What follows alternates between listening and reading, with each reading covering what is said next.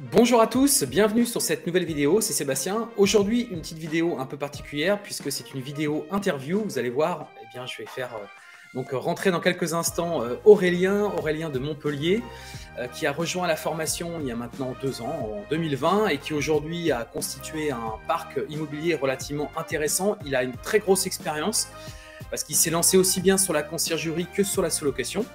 Et euh, bah, aujourd'hui, il est toujours en recherche de produits innovants. Il est un peu geek dans l'âme et du coup, il aime bien chercher des petits produits euh, sympathiques euh, à utiliser au quotidien pour gérer eh bien, ses, ses, ses, différents appartements. Vous allez voir, il a une aventure qui est très intéressante.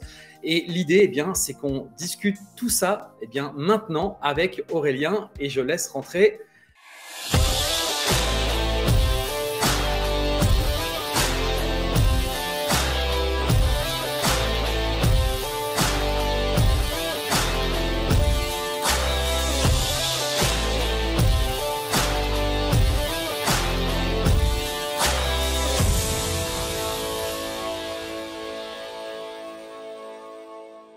Bonjour Aurélien, comment vas-tu?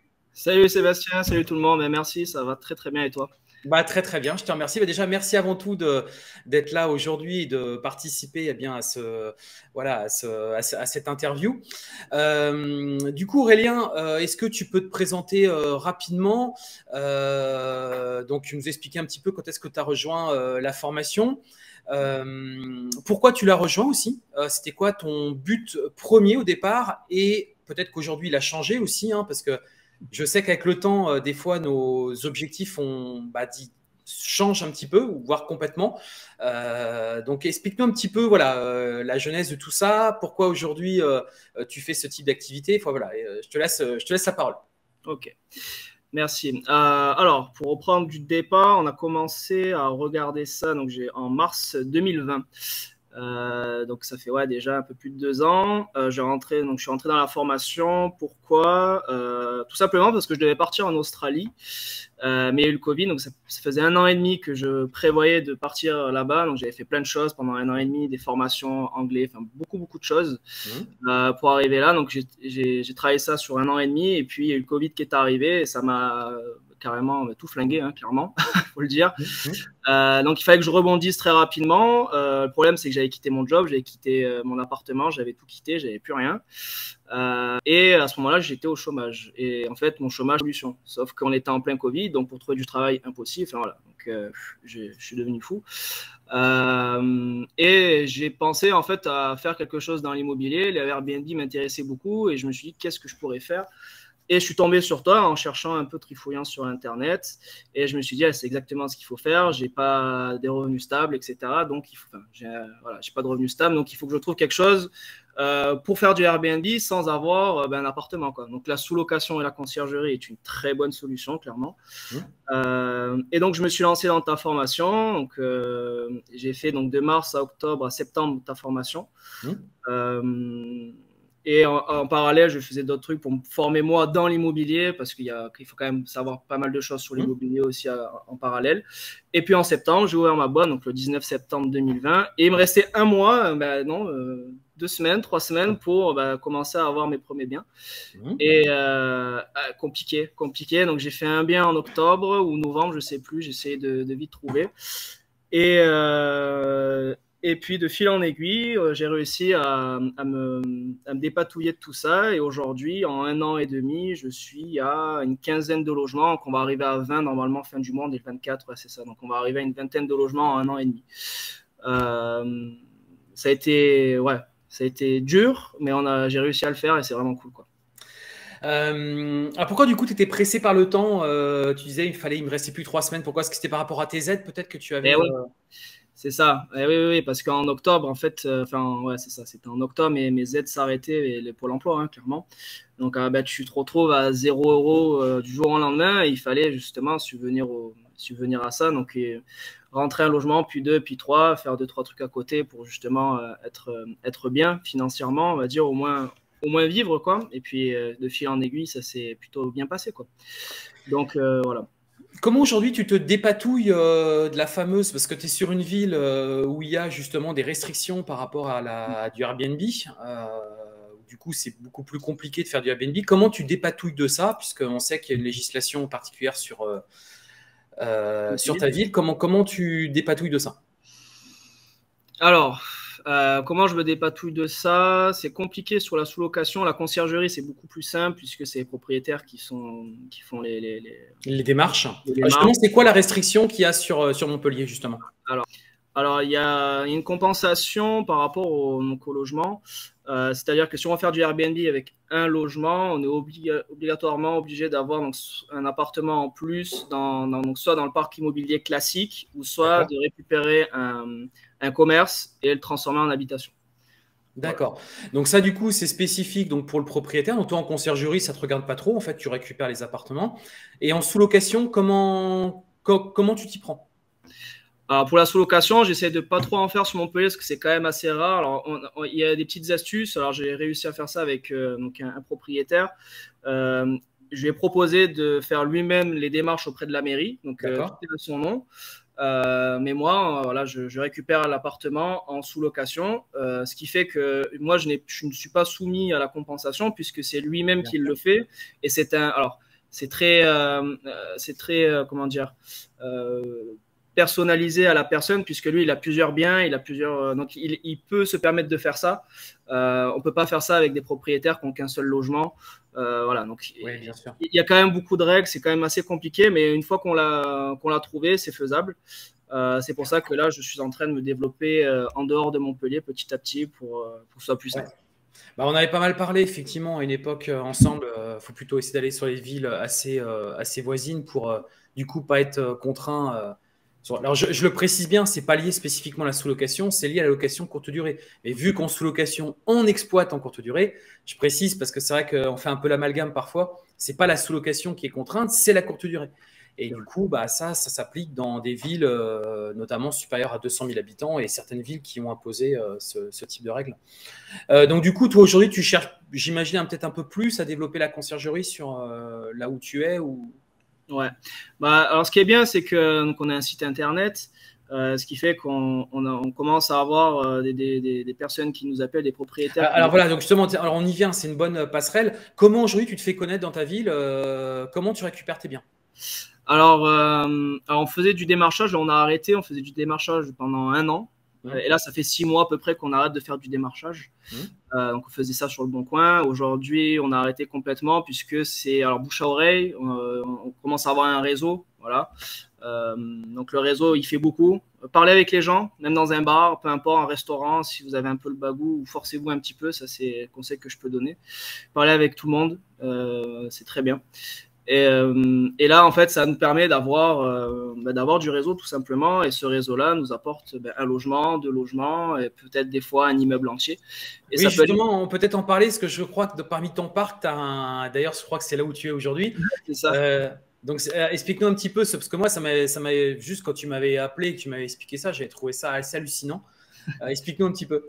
ouais, bah, du coup, là, là, je suis dans un ancien hôtel, donc euh, un ancien hôtel qui a fait faillite à cause du Covid, et j'ai vu avec le, patron, donc le propriétaire euh, des lieux, de récupérer le logement pour bah, faire un, ancien hôtel pour faire un logement. Donc, on a fait des démarches auprès de la mairie pour justement bah, que ça devienne une habitation. Donc, c'est une habitation. D'accord. C'est un logement et il y a combien de logements dedans du, du coup? Alors là, on a c'est un c'est un logement de 310 mètres carrés avec 10 chambres, 10 salles de bain, 11 toilettes et il y a 310 mètres carrés à peu près, ouais, c'est ça. 310 mètres carrés. Et les parties communes du coup? Et les parties communes, non, les parties communes on les a pas parce qu'en dessous après on arrive euh, directement sur la rue. Euh, en fait, c'est sur deux Ce que je veux dire, c'est que par exemple là où tu es en ce moment, c'était dans un appartement là où tu es dans une partie commune euh, de l'immeuble? Alors, ah, ah oui, pardon. Parce que la spécificité de la chose, c'est que je ne loue pas chambre par chambre, mais je loue l'entièreté du logement. Bien sûr. Ouais. C'est-à-dire que là où je suis, effectivement, c'est les parties communes euh, avant. C'est-à-dire quand c'était un hôtel, c'était les parties communes. Mais aujourd'hui, c'est là, c'est le salon, donc il y a le billard. Alors c'est flouté, mais on le voit pas. Mais là-bas, il y a le billard. Là où je suis, c'est le salon, euh, la, la, la, cuisine. Et puis tout au fond, il y a, il y a les chambres, etc. Donc aujourd'hui, c'est tout est privatif. C'est-à-dire que si vous venez ici, vous louez, donc c'est pour euh, jusqu'à 25 personnes. Vous pouvez venir faire un événement, par exemple, un anniversaire, et euh, vous louez en fait un ancien hôtel, quoi, finalement. Donc si je comprends bien, tu loues la totalité, tu loues pas chambre par chambre. Exactement. On fait, on fait, Voilà. Euh, on, veut, on, veut, sortir de, de ça puisque sinon. Ouais, c'est trop compliqué à gérer ça. Trop, trop compliqué. Donc, on, on loue très peu. Le taux d'occupation n'est pas, pas énorme. pas foufou, ouais. Bah, pas foufou, mais ça suffit pour entrer dans nos frais et faire un peu d'argent, quoi.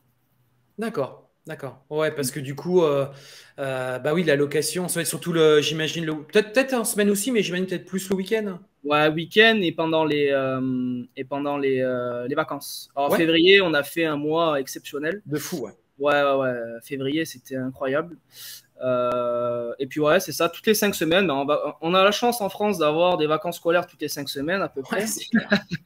clair. donc le tourisme, c'est super. Et donc ouais, on, on, le ressent, les pics d'activité, c'est le week-end et, et en, pendant les vacances scolaires. Donc du coup, toi, bah, c'est vrai que le Covid, ça t'a pas empêché, au contraire, mais ça t'est peut-être, j'imagine, le déclic euh, pour toi, la période du Covid? Complètement. Ah ben le Covid, euh, clairement, ça a été, euh, ben, ça a changé complètement ma vie en fait euh, mhm. sur sur les, choix et les décisions que j'ai prises.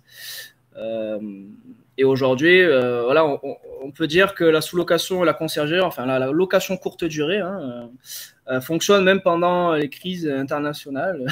Ouais. donc franchement, il n'y a, a, aucun problème. Je l'ai fait pendant le Covid, donc tout le monde peut le faire. Quoi. Donc toi, tu regrettes pas. Et puis du coup, ce que j'imagine que tu n'étais pas du tout dans l'immobilier auparavant, euh, même dans tes études, j'imagine que tu n'avais pas du tout. Euh, pas du tout, non, non. c'est fou. Et donc du coup, j'imagine que tu. Enfin, je pense que tu es passionné aujourd'hui, ça te, ça te fait bien kiffer, quoi. Ah bah en fait, une fois que j'ai mordu dans là-dedans, ça m'a là je suis je suis devenu un peu fou de ça et passionné comme tu disais, hein, un peu geek dans l'âme, donc ça m'a je suis resté très longtemps alors. Euh, il faut se dire que de mars à, à septembre, j'ai j'ai pas regardé Netflix et dormi toute la journée. Hein. Je travaillais sans mentir 12 à 15 heures. je me réveillais à, à, 6-7 heures du matin, je me couchais, il était 3-4 heures. Je dormais 3 heures par nuit pendant des ah mois je, voilà, bah, le travail, quoi. Et je me formais, je me formais, je me formais déjà par rapport à toutes tes vidéos et tout le reste. Hein, il fallait savoir beaucoup de choses parce que j'étais formé en rien hein, finalement. Mmh. Et donc, il faut, euh, pour être bon, eh ben, il faut travailler. Donc après, il y a aussi un peu la passion qui fait ça. Et quand tu es geek, tu, tu arrives à, à, faire des choses que voilà quoi. Tu, justement, ouais, euh, on peut parler un peu de ce côté geek parce que je sais que c'est souvent que tu me, tu me contactes en me disant ah tiens Seb, j'ai découvert un petit nouvel outil. Il euh, euh, faudrait que tu regardes un peu ça de plus près. Et justement, peux-tu nous dire un petit peu aujourd'hui avec quels outils tu travailles, ceux que tu recommandes. voilà, nous dire un petit peu ou des outils que tu as remarqués sur lesquels tu envisages. Bon, moi, je les, je, les, je sais, hein, ce que tu les as déjà dit, mais voilà, est-ce que tu peux un peu partager quelques infos par rapport à ça Et, et est-ce que c'est utile d'avoir des outils? Ah ouais. Alors, moi, déjà, je suis un grand feignant. Voilà. Euh, je, travaille, mais je suis un grand feignant. Pourquoi je dis ça? C'est-à-dire que, euh, d'ailleurs, Bill Gates dit ça souvent. Euh, il, cherche des gens qui sont feignants. Pourquoi? Parce que les feignants recherchent à, trouver la solution le plus simplement possible. C'est vrai. Et, je fais partie de ces gens-là, ce qui fait que je vais travailler énormément pour euh, une fois, mais, mais pour toute la vie. Quoi.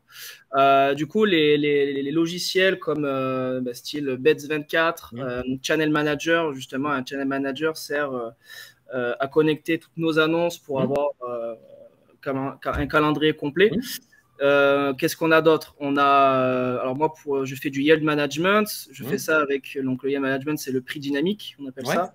Prix dynamique, c'est PriceLab. PriceLab, Voilà, donc euh, j'utilise beaucoup PriceLab. J'adore d'ailleurs, c'est vraiment bien. Et, euh, et j'ai un autre logiciel que j'utilise aujourd'hui qui s'appelle PassePass. Mhm. Euh, et PassePass est intéressant sur la, la partie automatisation, pardon, automatisation des tâches ménagères, etc. Donc voilà. Plus partie conciergerie pour le coup, PassePass. oui. Hmm ouais, alors partie conciergerie. Alors, ce qui, ce qui est intéressant aussi pour la sous-location, c'est que nos prestataires de ménage, on reçoit directement une, une, une un SMS pardon, et, et, reçoit directement hmm. la, la, mission, quoi, tout simplement. Ouais. Et, euh, et aujourd'hui, je sais que tu es toujours en plus ou moins en, recherche de, nouveaux outils. que, en fait, il y a toujours un truc dans les outils qu'on a qui nous manque, qu'on aimerait bien. Tu vois, enfin, moi, je sais que perso, il y a toujours des trucs euh, qui, qui n'ont pas été implémentés, donc il en faut un autre. Mais je pense qu'un jour, il y aura un vrai outil où il y aura absolument tout et euh, qui répondra à toutes les problématiques. Parce que nous, en fait, on a plusieurs problématiques. On fait de la sous-location, donc de la courte durée, mais on fait aussi de la, conciergerie. Et du coup, c'est pas tout à fait pareil dans, dans nos besoins, on va dire, et dans nos problématiques. C'est vrai, c'est vrai. Alors, je vais en parler un petit peu. Alors, je viens de rentrer dans un, dans un programme qui s'appelle Lucky Airbnb. D'accord, ouais. je n'osais pas trop t'en parler forcément, mais ouais, ouais, ouais. ça peut être intéressant. Tu nous échanges rapidement un petit peu euh, pourquoi tu veux faire ça. Ouais. Je, je... À quoi ça sert Lucky et, et, euh, et pourquoi tu as pris ce virage-là où, tu vas le prendre? Ok. Alors, Lucky euh, by Airbnb, c'est un programme qui a été mis en place, là, je crois, récemment hein, par, euh, par Airbnb, qui a racheté la boîte, euh, la société Lucky, mmh. qui est une, à la base une grosse société de conciergerie nationale qui a été rachetée. Et donc, ils ont pris un, tout un, autre virage. Et, globalement, qu'est-ce qu'ils font? C'est qu'ils vont en fait faire de la chasse à des, des, partenaires, donc c'est-à-dire des concierges comme nous, par exemple, qui sont professionnels dans le métier. Mmh. Euh, et, on devient en fait partenaire local du programme Lucky by Airbnb. Euh, et ce qui est intéressant, c'est qu'il nous débloque donc forcément des, fonctions, on va dire, mmh. euh, des nouveaux outils. Et, et, ça nous permet globalement de mieux gérer nos listings, de mieux gérer, mieux gérer nos résas, etc. Donc là, moi, je viens d'y rentrer tout juste. C'est intéressant. Il faut voir sur le long terme ce que ça donne. Ouais, ce qu'on a discuté un petit peu avant, forcément, on va peut-être pas forcément entrer dans le détail, mais il y a son lot d'avantages et il y a son lot d'inconvénients. Voilà, et ça, peut être, ça peut être, euh, ça peut être intéressant effectivement après à, voir, euh, sur le, sur, sur le long terme. En tout cas, on a déjà quelques touches. Ça peut être, ça peut être cool pour démarrer, pourquoi pas. Ouais, ouais. Euh, ok, donc là du coup c'est vraiment la nouvelle étape pour ta, pour ta société. Euh, du coup, c'est quoi les, prochains challenges que tu t'es donné euh, en termes de développement de ta société? Déjà, est-ce qu'aujourd'hui tu te rémunères? Est-ce que tu as des salariés? Est-ce que tu travailles des auto-entrepreneurs? Enfin, comment ça fonctionne globalement, financièrement et en termes de, gestion du personnel? Ok. alors, globalement, on est, j'ai pris un, donc un salarié qui s'occupe de la communication marketing. D'accord. Qui s'occupe que de ça parce que bah, voilà là je parlais de, donc de, de l'hôtel qui est derrière qui a quand même 310 mètres carrés. Et globalement c'est comme si j'avais un seul enfin si j'avais comme si j'avais 10 logements en fait. Euh, et il faut s'occuper de ça puisqu'il faut faire de l'événementiel. Voilà c'est carrément c'est presque une seule entreprise hein. ouais. Pardon excusez-moi. Pas de souci pas de souci. Euh, ça c'est presque une entreprise une entreprise ouais à elle toute seule juste le entreprise à elle-même donc euh, il y a en conséquence également. Donc, il faut vraiment faire attention à tout ça et prendre quelqu'un à l'année pour justement développer la, partie communication et marketing, parce que c'est clairement presque de l'événementiel que je fais là. Euh, donc voilà. Euh, aujourd'hui, je me rémunère euh, et ça fait, ouais, c'est ça. Hein, je, me, je, me, rémunère depuis, depuis quelques mois là. je commence à me rémunérer. Donc c'est euh, pourquoi alors pourquoi j'ai mis ça en place? Je me suis pas rémunéré tout de suite parce que euh, on a beaucoup de charges hein, finalement en sous-location, conciergerie et qu'il faut quand même euh, faire gonfler un peu la trésorerie pour ben, pour que la société tienne finalement parce que si on se paye tout de suite.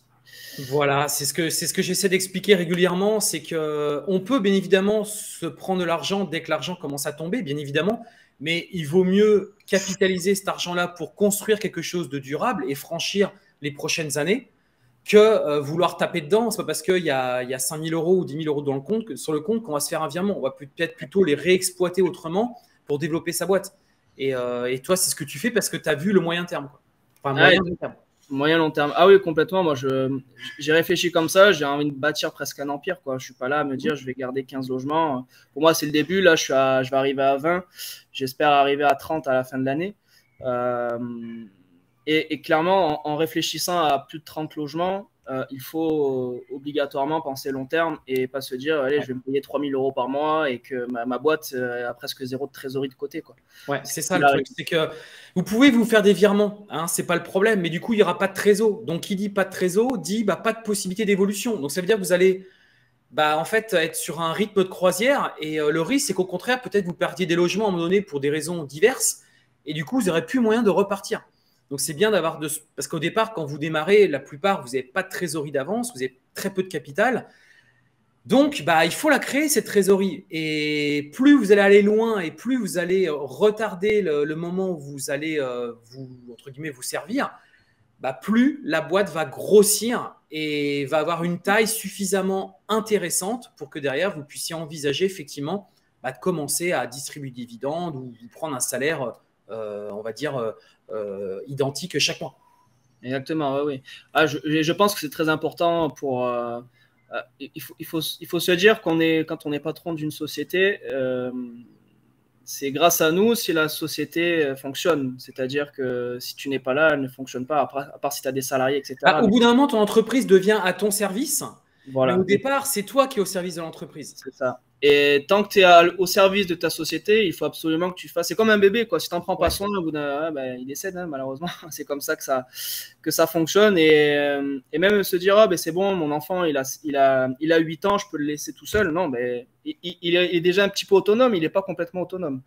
Et c'est le parallèle avec. Euh, avec l'argent sur la, la, trésorerie sur la, dans la boîte, et tu peux avoir 15 ou 20 000 euros de côté. Euh, mais ça ne veut pas dire que tu as, euh, que as suffisamment pour, euh, pour la boîte et pour toi. Quoi. Donc il faut vraiment faire attention, tout, tout, pérenniser. Et au moment où tu es périn, effectivement, tu peux commencer à te payer.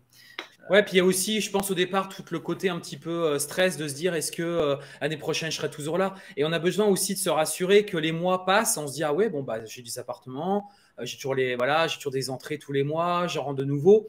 Et c'est au bout d'un moment, dans votre tête, vous allez dire, OK, je suis arrivé à un stade où ça va, je peux commencer un petit peu à, me servir. Mais il faut en garder pour pouvoir continuer le développement de la boîte. Et c'est bien là euh, toute la difficulté euh, du développement d'une entreprise. C'est pour ça que d'ailleurs que beaucoup de très grosses entreprises, euh, même du CAC 40 ou autres, ont recours aux prêts. Hein. Ce n'est pas parce que l'entreprise gagne un max de fric qu'ils ne vont pas faire des prêts à tout va, parce qu'ils ont besoin de cette trésorerie-là pour continuer le développement. Exactement, c'est ça. Et euh, voilà. Ah, je trouve ça. Et c'est hyper intéressant la sous-location, même la conciergerie. Alors, c'est pour ça que moi j'aime bien allier les deux, justement. Euh, euh, rapidement, hein, je vais vous dire pourquoi. la conciergerie, ce qui est intéressant, c'est que ça fait rentrer de l'argent sans avoir voilà, du cash, sans, sans avoir trop de, de, charges à côté finalement. Mm. Euh, c'est une machine à cash, hein, ça rentre de l'argent. Mm. C'est des petites sommes, mais ça, plus ça, plus ça, plus ça, plus ça, ça commence à faire beaucoup. Et puis, on a la sous-location où là, c'est un peu plus, euh, où il y a plus de charges, mais on gagne un peu plus d'argent, mais on prend plus de risques. Voilà, c'est un peu, euh, voilà, c'est la balance. Il faut avoir une vision beaucoup plus long terme, quoi, sur la sous-location. Exactement. Donc, c'est pour ça, c'est très intéressant d'avoir les deux je conseille les deux généralement. les deux sont très bien.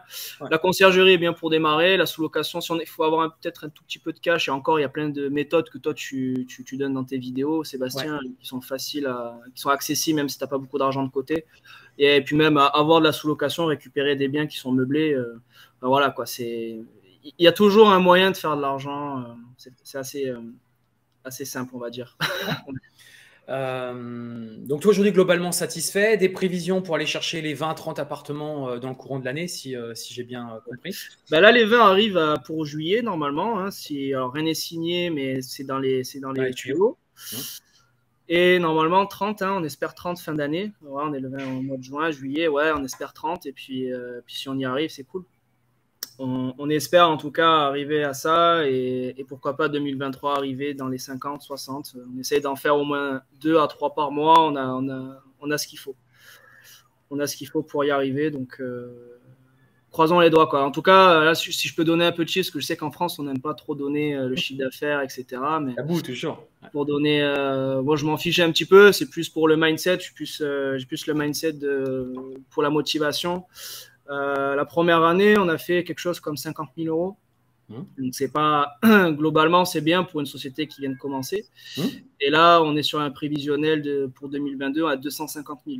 Donc vous voyez, on est euh, on, voilà, on a, on a, quand même bien bien évolué.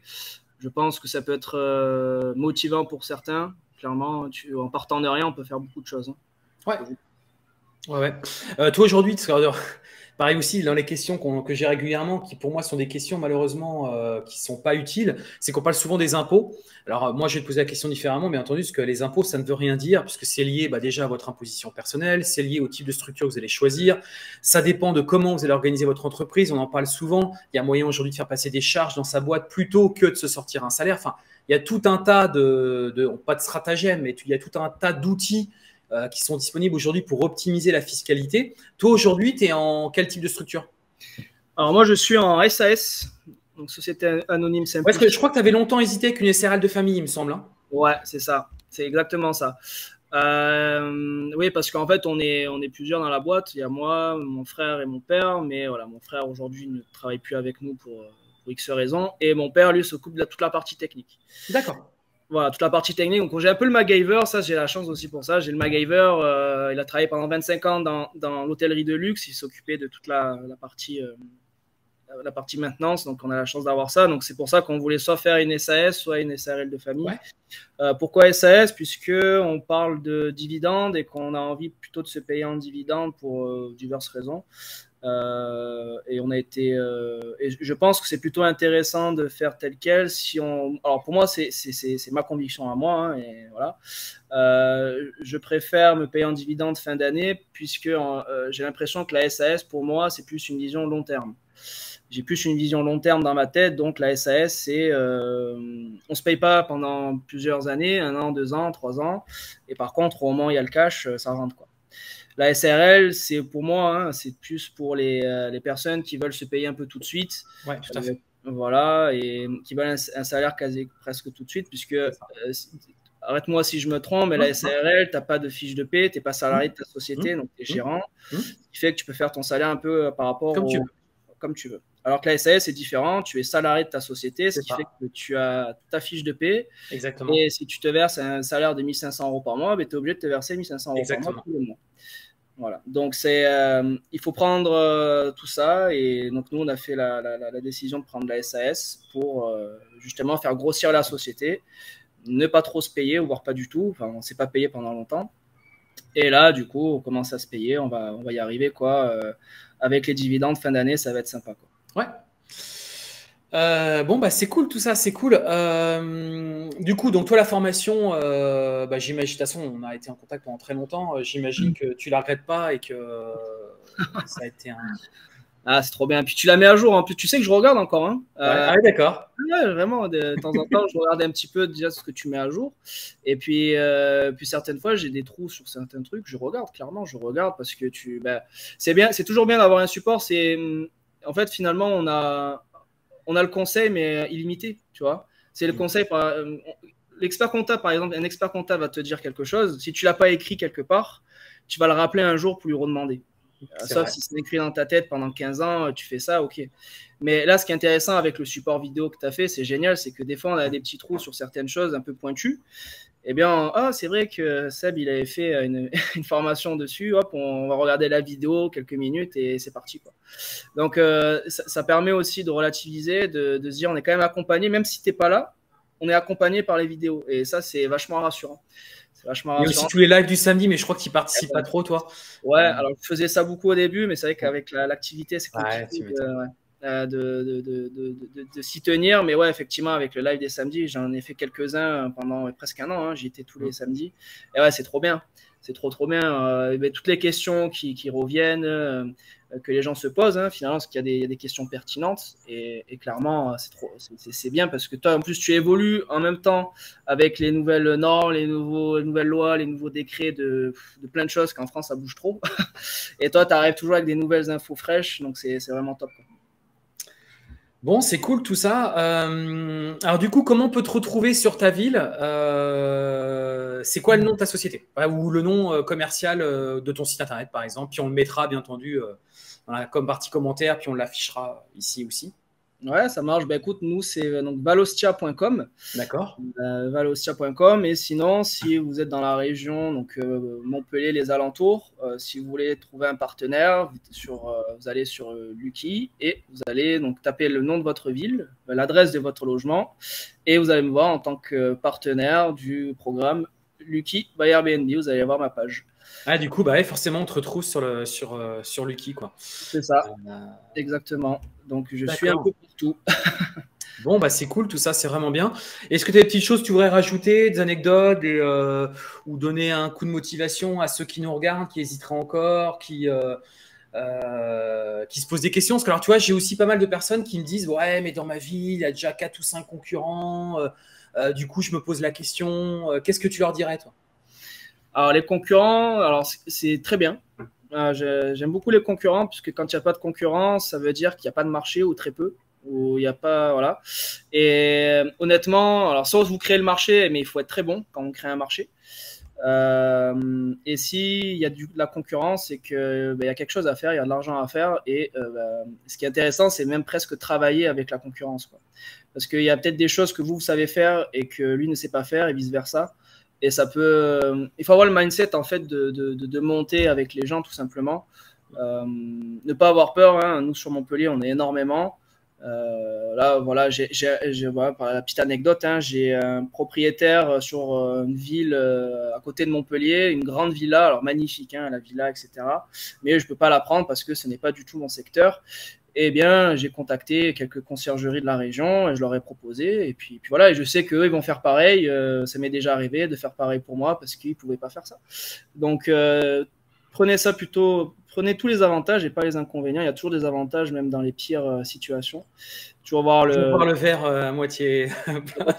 Exactement, ouais, clairement. Non, mais c'est des phrases bateau, mais c'est tellement vrai. Il faut toujours trouver les meilleurs euh, le meilleur de, des, des, situations. Quoi. Donc, euh, n'ayez pas peur, allez-y, foncez. Euh, puis vous êtes très bien formé. Franchement, c'est pas pour te jeter des fleurs ou quoi que ce soit, mais clairement, quand je vois la concurrence en France, hein, parce que je connais du monde aussi dans la France maintenant par rapport à, au métier qu'on fait aujourd'hui, clairement, on est, on est hyper bien formé. déjà sur le fait de l'automatisation, l'automatisation d'un logement, pour moi, c'est primordial. Tu peux pas aller, euh, tu peux pas scaler ton entreprise, donc euh, scaler ton, ton, ton, business et aller euh, en illimité, quoi. on peut pas, on peut pas scaler l'entreprise si on n'automatise pas le logement. Et, toi, tu l'apprends très bien. Et clairement, je pense qu'on peut pas faire mieux. Honnêtement, j'essaie de, j'essaie de trouver d'autres choses et tout. il y a des logiciels et des choses, mais on revient toujours à la même forme, c'est-à-dire automatiser de A à Z.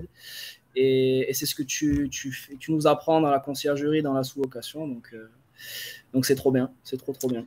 Merci à toi en tout cas, vraiment. Bah non, bah merci à toi, merci à toi. Tu as, changé, ma vie, donc euh, merci beaucoup. Ah ouais, d'accord. Bon bah ça, non, ça fait plaisir. Bah, pour moi, c'est la plus belle des réussites quand on me dit ça et euh, parce que bah forcément là pour le coup, tu te sens vraiment utile et tu sens que tu as rempli vraiment ta mission quoi. Si euh, même si au départ je n'avais pas forcément une mission, mais c'est vrai que ça, au moins tu participes au bonheur des gens et euh, bah, enfin voilà, c'est c'est gratifiant, on va dire, c'est gratifiant et ça fait du bien aussi, même pour moi d'entendre ça.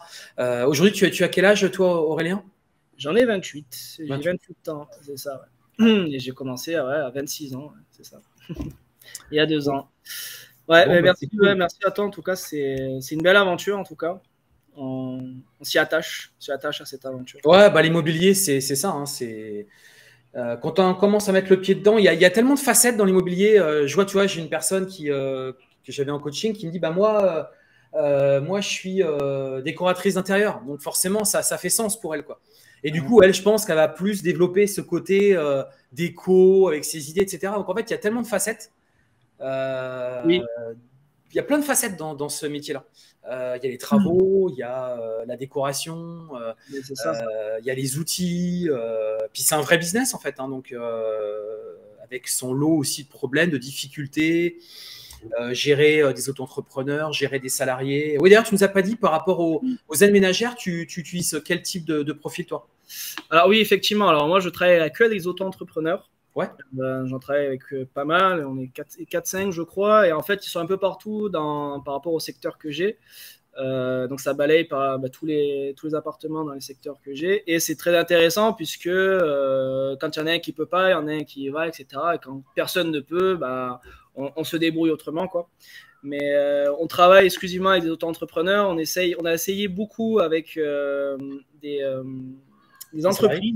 Ouais, entreprises, ouais entreprises carrément, mais c'est extrêmement cher. Euh, j'ai arrêté, j'ai arrêté récemment, enfin récemment, il y a, six mois, j'ai arrêté parce que c'est pas gérable, c'est hyper cher et, et dès qu'il y a quelque chose de, il y a une heure de plus, ça nous plombe la, ça nous plombe la marche quoi. Donc c'est pas, à long terme, c'est pas intéressant quand on a beaucoup de logements. C'est bien pour euh, pour dépanner quoi.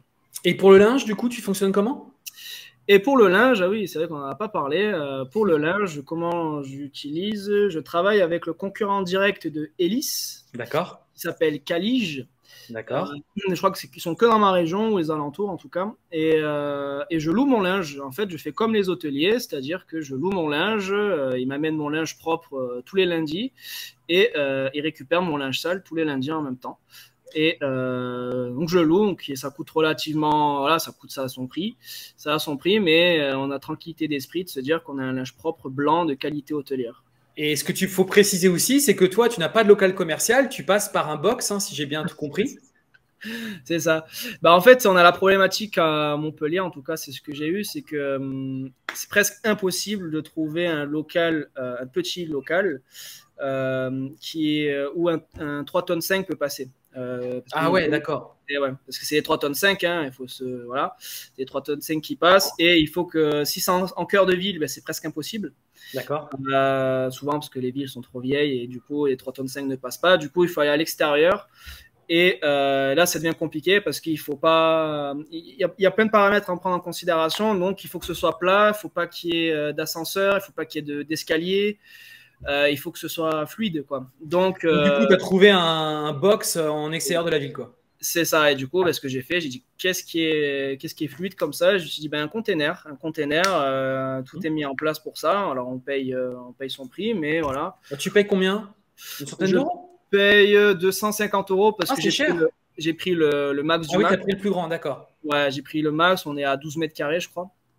Ah oui, d'accord, ok, ouais, c'est quand même assez grand. Quoi. Ouais, on a, on a 12 mètres carrés. Euh, et ce qui est intéressant, c'est qu'il y a, il y a quoi Il y a 3 mètres de hauteur, un truc comme ça. Ouais, donc tu peux entasser, euh, il y a de la lumière. Euh.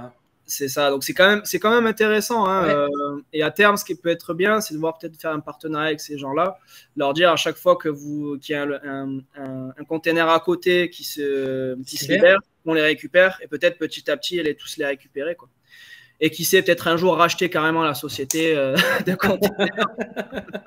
Avec tout le cash flow euh, de la sous-loc. Exactement, c'est ça.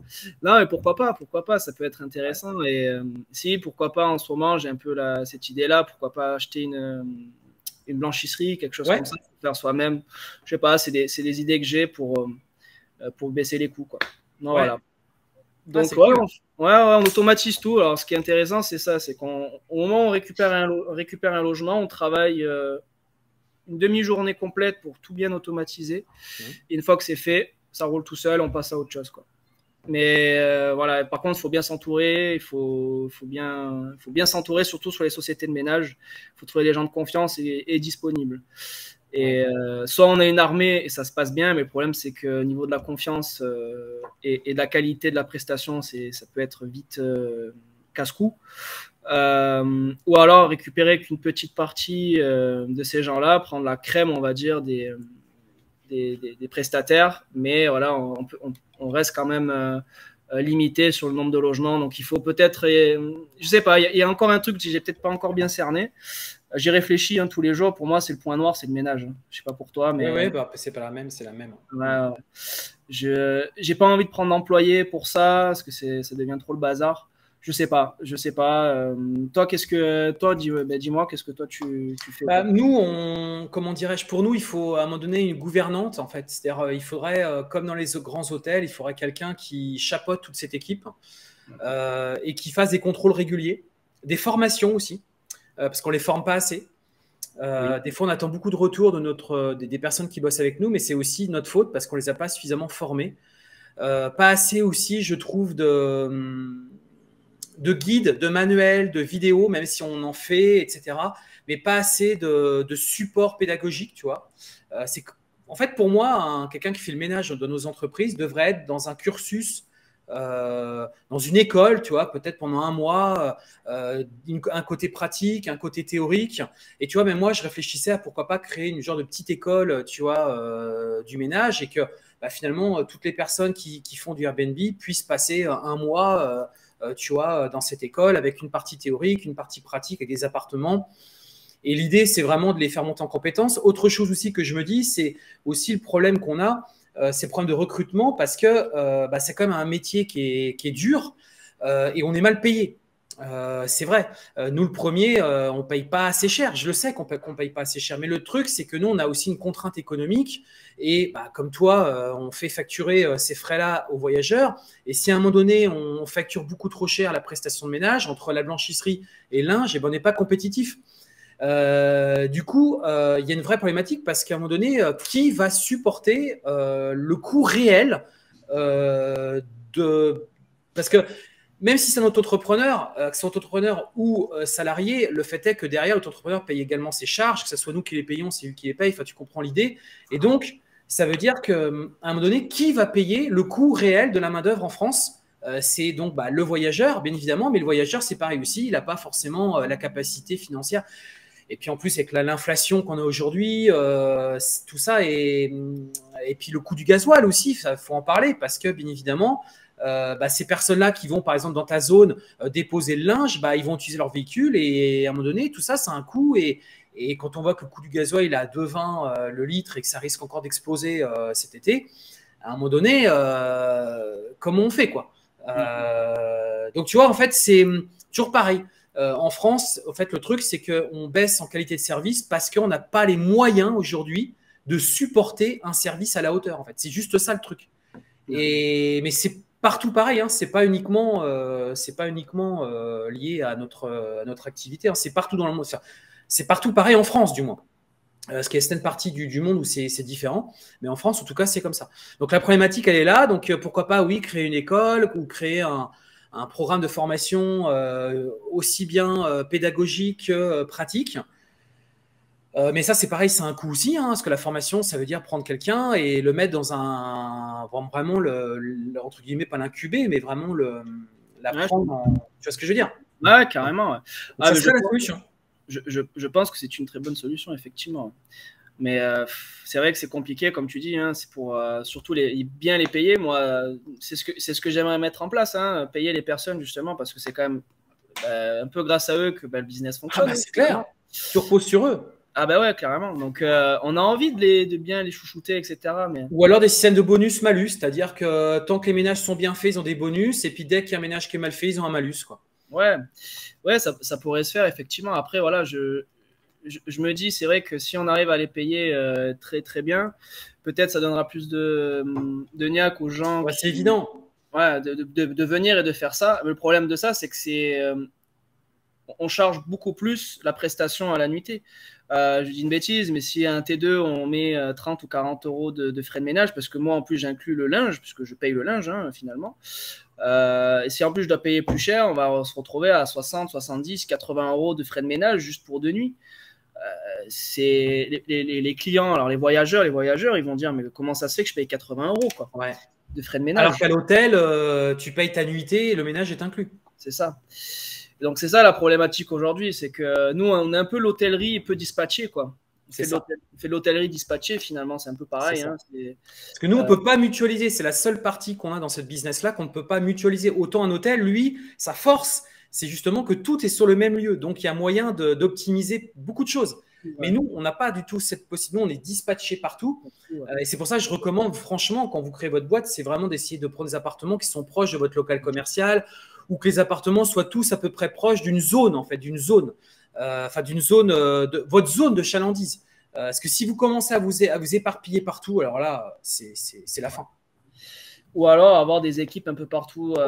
mais, bon. dans ces cas-là, il faut définir des zones, effectivement, dans la ville. Je suis implanté dans le nord, je suis implanté dans le sud, je suis dans le centre c'est ce que j'essaie de faire, j'essaie de me recentrer, tu vois. Alors, euh, des fois, par gourmandise, on essaie de récupérer des appartements qui n'est pas du tout notre secteur, et puis on revient un peu à la raison. Ben, typiquement, la, villa que je te disais en début de vidéo, c'est ça. Hein. C'est une super villa de 150 mètres carrés avec jardin, enfin un truc de fou. Voilà, tu as envie de le prendre, mais tu te dis, mais c'est pas du tout mon secteur et personne, euh, les, équipes de ménage n'iront pas finalement. Et, et, tu te tires une balle, parce que tu fais comment après pour le gérer? Tu peux pas. Donc, euh, ouais, ouais, c'est, c'est, quand même compliqué. Alors, ceux qui trouvent la solution, mettez-le en commentaire. c'est ça, partie commentaire. Direct. La solution miracle, on la veut. ouais, c'est ça. Mais ouais, ouais, c'est compliqué, quoi. C'est compliqué. Ok. problématique. Bon, bah Aurélien, si tu n'as pas d'autre chose à rajouter, euh, je pense qu'on va terminer sur ces derniers mots. Ouais, bah écoute, euh, non, euh, j'ai pas forcément d'autres choses à dire, à part, euh, bah allez-y, hein, franchement, c'est une belle aventure. On est, on est, on y est très bien. On y est très on rappelle ton site internet, valostia.com, conciergerie sur, eh bien, Montpellier et les alentours. Sur Montpellier et les alentours. donc n'hésitez pas. Si vous avez un appartement que vous voulez mettre en sous-location ou en conciergerie, eh bien, vous appelez Aurélien. Il sera heureux de vous répondre. Euh, bah écoute Aurélien, merci pour tout, merci pour le temps que tu as pu euh, dégager. Euh, bah moi, ce que je vous propose, eh bien, c'est qu'on se retrouve sur une prochaine vidéo. Je vais vous inviter à liker celle-ci si elle vous a plu, bien évidemment. N'hésitez pas à la commenter, n'hésitez pas à la partager. Posez vos questions aussi. Je pense qu'Aurélien s'amusera à regarder un petit peu les commentaires et je pense qu'il prendra plaisir à, à, y répondre parce que je sais que parfois il y a des personnes qui ont des questions un peu plus précises. Euh, voilà, bah écoutez, moi je vous dis, euh, je donne rendez-vous pour une prochaine vidéo. Et puis vous le savez, vouloir changer de vie, c'est bien. Le faire, c'est encore mieux. Excellente journée. Merci Aurélien. À très bientôt. Merci. Ciao.